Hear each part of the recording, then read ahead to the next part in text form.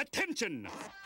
Your gym teacher escaped from charm school, irons his underwear, watches hygiene films. He says, Anyone chewing bubble tape owes me 50 push-ups. the lunch lady wears a hairnet, serves mashed potatoes with an ice cream scoop, puts gravy on everything.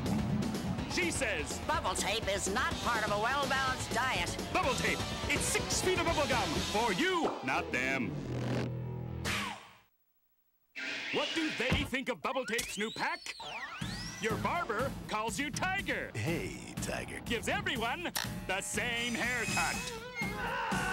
He says, That new pack just doesn't cut it. and Edna wears too much lipstick.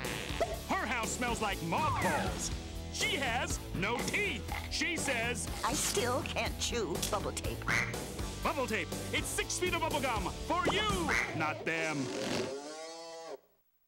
What do they think of new tape chewing gum? My math teacher. With the. And, the. Right. Well, she says, Type! Not my class, mister! Well, my guidance counselor. who wears? And, the. Everywhere. He said. Chew sticks, not tape, or you'll never get into college. New tape chewing gum. It's six feet of chewing gum for you, not them. The truth.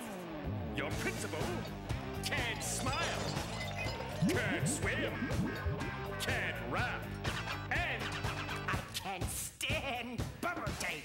your school bus driver can't drive, wears curlers, makes funny noises, won't try